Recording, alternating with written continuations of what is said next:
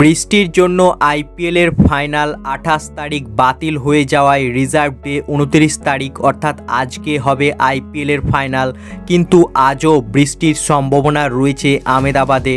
তাই আজও যদি বৃষ্টির জন্য ম্যাচটি না হয় সেক্ষেত্রে কোন টিমকে চ্যাম্পিয়ন রূপে ঘোষণা করা হবে?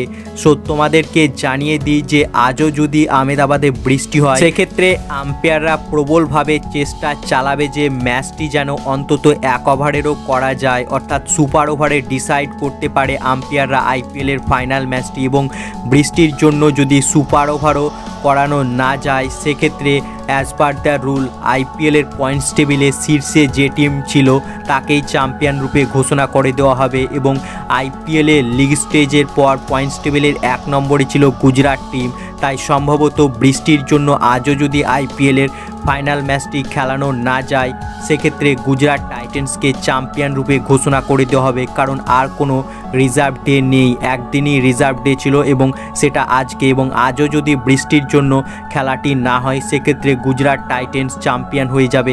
এটাই নিয়ম বলছে, তাই হোপ ফর দ্য বেস্ট যেন আজকে যেন বৃষ্টি না হয় এবং ম্যাচটি সম্পূর্ণ কুড়ি ওভারের হয়। সো, ভিডিও এ পর্যন্তই। ভিডিওটি ভালো লাগলে ভিডিওটিকে করো লাইক এবং পরবর্তী আপডেটের জন্য চ্যানেলকে করো সাবস্ক্রাইব। ধন্যবাদ।